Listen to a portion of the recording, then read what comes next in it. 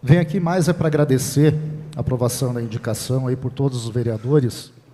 na indicação 917. Como todos sabem, nós temos um problema de mobilidade urbana aqui em Chapecó, temos a comissão de mobilidade urbana, temos o projeto que entrou para casa, e tudo que é bonito e funciona dá para ser copiado e não precisa se ter receio em falar que é copiado.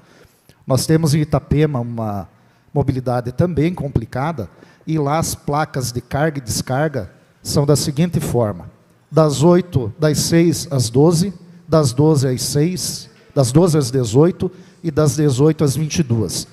onde o comerciante agenda com a empresa que está negociando para que ela se organize e faça a carga e descarga em quatro horas, seis horas, que é um período bacana, e durante o outro período fica liberado o estacionamento para todos os que necessitam do estacionamento.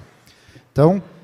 pede-se o estudo de viabilidade para alteração, eu sei como que funciona o trâmite legal, mas é uma indicação, como eu gosto de começar com indicação, depois moção e depois projeto de lei,